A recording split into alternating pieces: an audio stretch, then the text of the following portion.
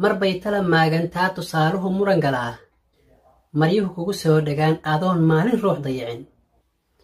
Maangaab dadka kuu tusaa munaafiq inaad tahoo hablaha maagooda jecel ileen hadal waa margiya masale aan meel u waday. Intay ka maquuniyaan minjaxun kala maahiyaan. Macrifadaydiyo gobtii ku dhahaan waa muudaljan mar quro la dagaalo oo maaseejo u qora bahdila mid baan leeyahay hablaha afkaygu ma kala xumaan waa muxiba maam hooyaday. Macaantii aan qabiyo walaashay muunad wacan. Gabdhaha soomaaliyeed ma ahi ruux mudan dafira ma ahi. Ruux mudan dafira maariya ruux cay u qora. Malyuun ku bahdila oraah malyuun ku bahdila oraah ilhaan ma mutaysanina maryaha la xirtoo bahdila cakuya maankay ma gelin cakuya maankay ma gelin maantana beri baan ka ahay mirkii aan soo qalday hablow imasaabaxoo cimaamadda iga mulkiya cimaamadda iga mulkiya idinkaa sharaf mudan ileen habluhu waa wada macaan milkiya sharaf bay gayaan. Maamuus bay leeyihiin allahna ku makinay wanaag. Macaankoodaan dunida intaa kala muudsannaa. Misbaax bay noo yihiin muuqoodaan ku doogsannaa. Man iyo waa ubax carfee mawlow noo daa haween la'aantood waa mugdi asalaamu calaykum waraxmatullaahi wabarakaatu aad baan idiin salaamayaa meel kastoo aad joogtaan iyo si kastoo aad ay maqlaysaan ummada soomaaliyeed oo dhan waa salaamayaa waxaan si karti geesinimo iyo hannaan ku dheehan tahay. Aan halkan u soo fadhiista in aan ku raaligeliyo dhammaan ummadda soomaaliyeed gaar ahaan gabdhaha soomaaliyeed. Ay ugu horreyso walaasha ilahan xarago oo si khaldan wax magaratadu ay u fasireen so-aal aniga ayadana dhex martay. Waxaan leeyahay oo aan si gabasharahan u leeyahay ilhaan walaal qaali gabar soomaaliyeed sharaf iyo cise iyo milga leh waxaan ku leeyahay iga raali noqo si bareer ah ayaana kaaga codsanayaa raaligelintaas. Waayo jaanisyo badan baan waxaan siiyey sida aan dareemayo dad wax magarata ah oo yaamyam ah dawacooyin ah mana doonayo in ay jaanis kale igu sii helaan. Sidaasi la mid ah walaashay qaali waxaan ku leeyahay iga raali noqo. Dhammaan ummadda soomaaliyeedna waxaan leeyahay ha la iga raali ahaado cafis baan idinka dalbanaya. Si cad oo bareer ah. Waxaa sharaf ii ah karaamo ii ah wanaag ii ah in aan malaayiin kumanaan soomaaliyeed hortood aan cafis ku hor dalbanayo in si qaldan hadal loo fasiray colaadna la dhex dhigay aniga iyo walaashay ilhaan. Ma doonayo inay sii socoto? Mana doonayo in khaladkii la igu arkayey ee aniga la ii fasiray ay dad si khaldan ula jeensadeen inuu halkaa ka sii socdo ma doonayo. Cafis ballaaran baana ka codsanayaa walaashay ilhaan oo ayada aan si gaar ah aan u abbaaray iyo meesha ay ka bilaabatay arrintan iyo buuqan hadda inahareeyey gaar ahaan aniga u aadan dhammaan gabdhaha soomaaliyeedna waxaan leeya iga raalli ahaada dhammaantiin sida quruxda badan ee aad ii waaniseenna waan qaat. Qof kasta oo waxayga tirsana waxaan leeyahay cafi aliya masaabax adiguna walaaliisoo cafi ragga intaa ii haarsan wixii kale intaas anaa la xisaabtamaya. Laakiin codsigaas iyo cafiskaas waxaan weydiisanayaa walaashay ilhaan iyo walaashay muno labadaba waan weydiisanayaa oo waxna dhex mareen. Weliba aan ka xumahay inay ilaa halkaas la gaadho. Waxaan sidoo kale cafiska u codsanayaa oo aan mar laba ku soo celinayaa dhammaan ummadda soomaaliyeed.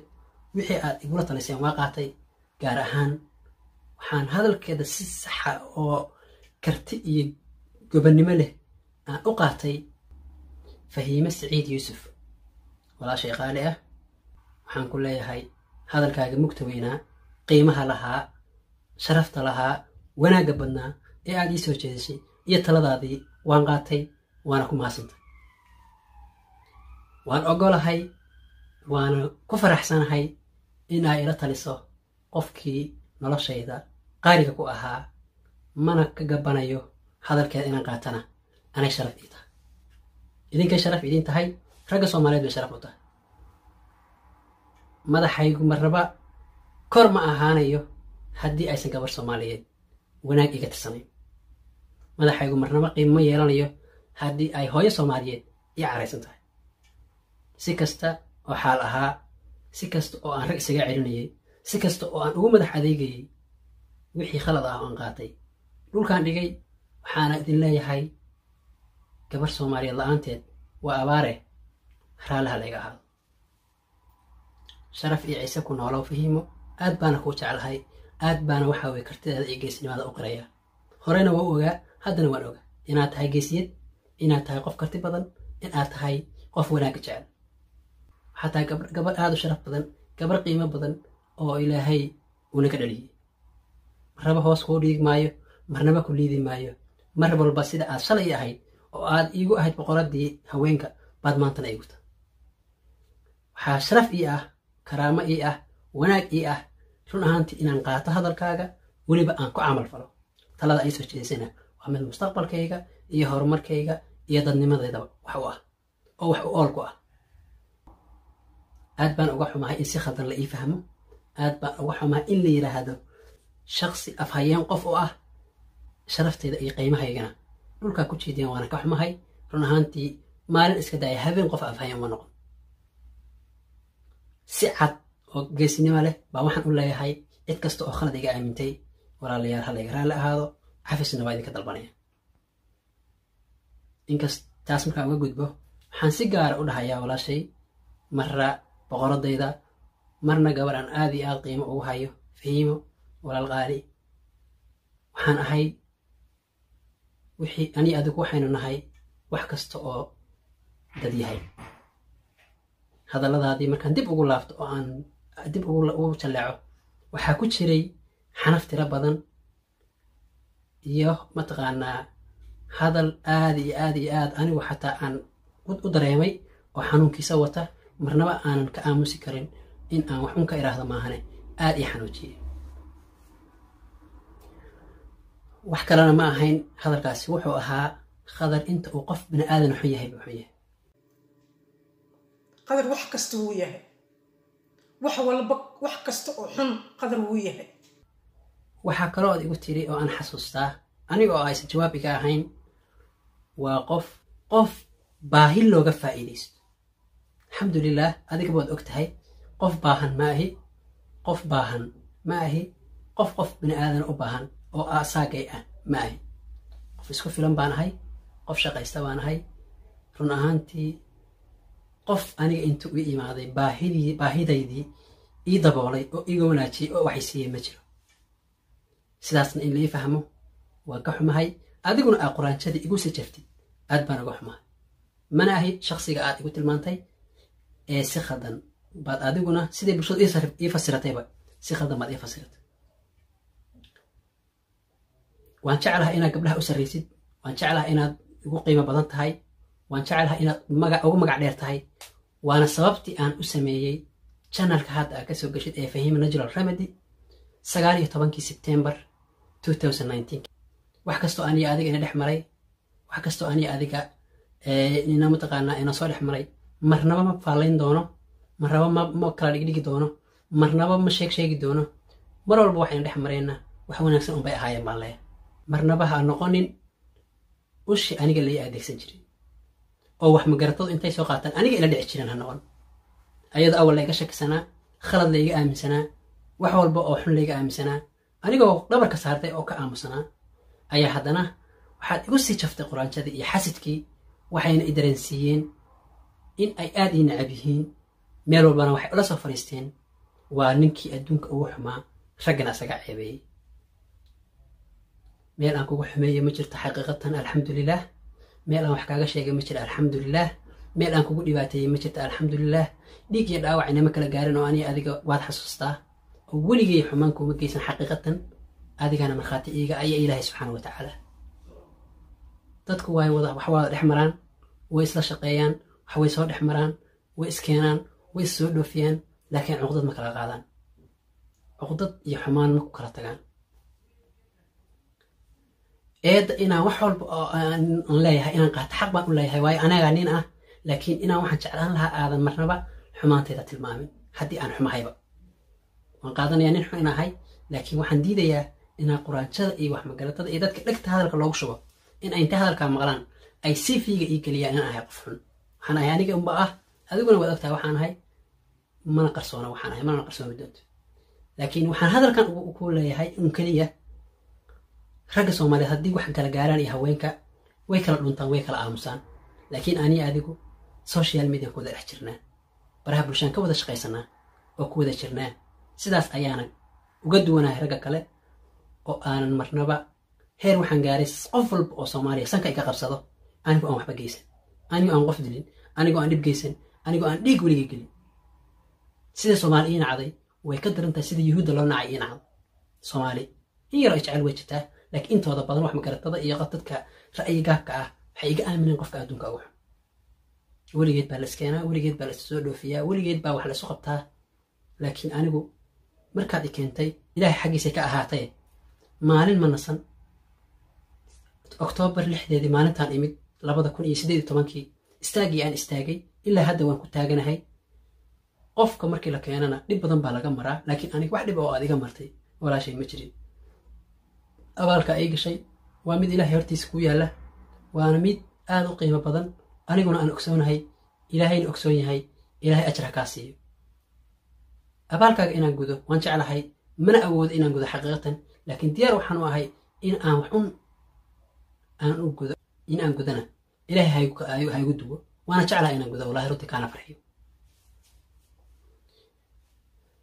Laakiin adiga waxaan kaa codsanayaa marnaba walaashay qaaliyey walaalkaa baan ahay ehelkaa baan ahay wax kastaan ku ahay.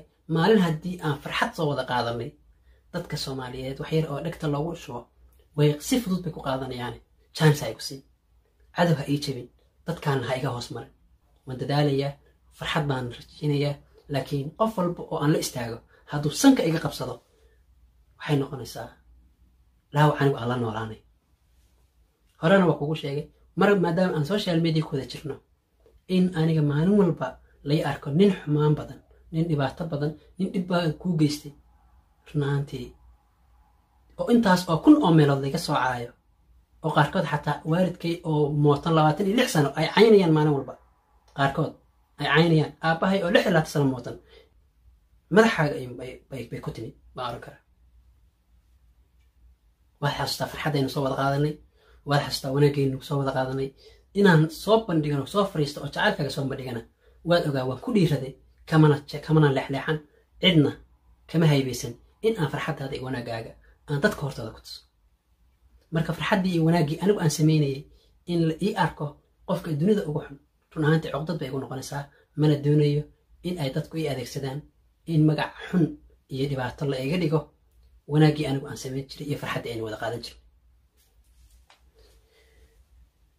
Intaa marka laga soo tago soomaali waan aqaanaa waxay igu haystaan waa un hal ama hal khalad oo aan sameeyey qaarkood hadday jeclaan waxay iisoo qoraan. Naftaan ku dhaafin lahayn haddaan maligii ahaan lahayn. Heerkaasaa nacaybka soomaalidu ila gaara anaa la nool xanuunka anaa la nool. Haddana stiil anigiibaa waxaan qaatay wax kasta oo dhibaato ana. Anigiibaa la tegay oo la qaatay. Haddana weli ushii lii adeegsan lahaa oo liu karbaashi lahaa baad weli tahay inta soo fariistan waxaa ku tiri khadar waa ninka adduunka ugu xun. Shaksi binaadam intuu xun yahan ugu xun yahay waan kaaga mahad celinayaa garab istaagga waan kaaga mahad celinayaa in aad intaa soo fariista tiraahdo ninkay wiil khadar waxa lagu sheegaya ma ahan taasna waa abaal aad ii gashay oo waan kugu abaal hayaa waana kaaga mahad celinaya kun jeer wax ku leeyahay waa mahadsan tahay run ahaantiina ereygaas anigu aan soo dhigay codadka aan soo dhigay xumaan kama wadine. Keliya waxay caddayn u ahaayeen in aynu afar bilood kala maqnayne aynu shalay wada joognay. Haddaan xumaan kaa faafinayo waxa aniga adiga ina dhex maray. Run ahaantii ilaahayna waa ogyahay aadna waa ogta waxaynu ku kala tagnayna waxay ahaayeen xaqiiqatan. Wax aan hadda halkan ka faahfaahinayn mana faahfaahin doono waana la dhimanaya intaan noolahayna. Ma sheegi doono waa ballan oo afdabolan waa dahab laakiin ereygaas sida khaldan loo qaatay iyo codadkaas sida khaldan loo qaatay oo mataqaana qof walba uu ii leeyahay sidaas yeeshay sidaas yeeshay sida ay ku imaadeen markaan wax yar dib ugu laabto keliya waxay ahayd maadaama afar bilood ma arag aad tidhi ayaan videoga codkaa waxaan u soo qaatay in aadan afar bilood ka yar aynu shalay inaan wada joognay afar bilood oo dhan aan kaa maqnayn oo xaqiiqada iyo caddaymo darteed ayuunbaa codkaa u soo qaatay ma ahayn cod aan xumaan u soo qaatay. Walaashay marna xumaan uma qabo. Mar walba waa ku jeclahay. Cafi aliya masaabax baa iga tahay. Inta aan noolahayna run ahaantii waxaan diyaar u ahay inaan ka shaqeeyo wanaagaaga inaan ka shaqeeyo farxaddaada in aan ka shaqeeyo wax kastoo abaal ah oo qofkooda inaan ku gudan. Diyaar baan u ah laakiin marnaba dadkaan ha ii jibin marnaba dadkaan ha ii jibin waa la iskeenaa waana la kala tagaa. Laakiin run ahaantii xumaan intaa tira la eegintana t v dad hortoo soo fadhiisto. Oo weliba anigu aan sheer galayo inaa igu tirahda khadar waa ninka adduunka ugu xun. Aniguna aan dadka u sii gudbiyo adiga oo wax iga sheegay. Run hadalkaas dhaawac la noolbu noqday waana ka aamusi waaya runtii. Bini aadan baan ahay. Si kastoo aan isu adkeeyo si kastoo qalbigayga u adag yahay si kastoo aan garti iyo geesnimada u isticmaalayo laakiin qofku waa bini aadan qalbiga ayuu ka socdaa mar mar wuu la xanuunsanayaa dhibka iyo shaabuugga bulshada ka soo gaaray. Dhagax meel dhow buu ku dhacaa dhawaqna meel dheer baraha bulshada maanta wixii lagu faafiyo si fudud bay u faafiyeen adiga waad ogta qof walba intaasoo app isku haystaa tiktok baa la haystaa facebook baa la haystaa instagram baa la haystaa youtube baa la haystaa intaas oo barnaamij. Adigaba waad dareemi kartaa oo afuran. Haddii lagu faafiyo ceebtayda dhibka aniga soomaali iga soo gaari karta. Adna waad dareemi kartaa adna waad dareemi karaa marnaba mar laga yaabo ceebaheenna iyo wixii anaga dhex maray sida xaalku ahaa inaan inta soo fariista ka sheekeeya ha iga sugin ku jeclahay run ahaantii wanaagaaga waxaan ayna intaan noolahay waxaan kama shaqayn doono haddaan qof xun ahay oo aan qof liita ahay maalinta ay keentay ama waddankan aan imid ismaan aragna waan kaa gudbi lahaa laba sanayn wada noolayn laba sanayn yuka ku wada noolayn wada farxaynay wada qoslaynay nolosha ugu quruxdooda badan soomaali ku noolaatana ku noolayn. Marka anagoo farxaddaas quruxdaa ku wada noolayn inaa inta t v soo fariista tirahayd khadar waa ninka adduunka ugu xun. Run ahaantii adiga laftigaa kaama geeya adigana ma geydid run ahaantii inaa hadalkaa tirahayd laba dadku ayagoo boqolaal nololood xun soo wada qaybsaday ayayse haddana iska sheeg sheegin. Anigu hadda mid cad oo anigu aan kugu sameeyey run ahaantii maba garanayo wallaahi ma oranayo inuusan ahay ama dembi la'aan ba ahay ku dhihi maayo. Laakiin si kastoo xataa wax u sameeyey marnaba anigu heerkaas nacayb ku gaarsan weligay ku qaadi maayo waana ku jeclahay anaa hadda ku dhahay runti aad baan ku jeclaa. Qiime iyo sharaf baan agteeda ka leeda ilaahay ha ku xafido ilaahay ha ku sharfo. Mar walba waxa ay tahay fahimadeeda madaxaana kugu sitaa ilaahay ha ku karaameeyo. Ilaahay subxaana watacaalaana cadowha kaa ilaaliyo. Inta aan noolahayna sharaftaada madaxayga ku sidanaya aad baan idin salaamayaa waa yaro qayrooday xogaa dhaawac tiro badan baan dareemayaa oo aan la aamusnaa. Mana rabo inaan aad u sii hadlo. Run ahaantii hala iga raalli ahaado. Qof walba oo soomaaliyana waxaan leeyahay hala cafiyo gabdhaha soomaliya waxaan leeyahay hala cafiyo yaan la iga dhigin kara baash wax aanan ahayne xaqiiqada aniga iyo ilaah iyo fahimaas la ogay soomaaliya iga xishooda aad iyo aad baa idin salaamayaa asalaamu calaykum waraxmatullaahi wabarakaatu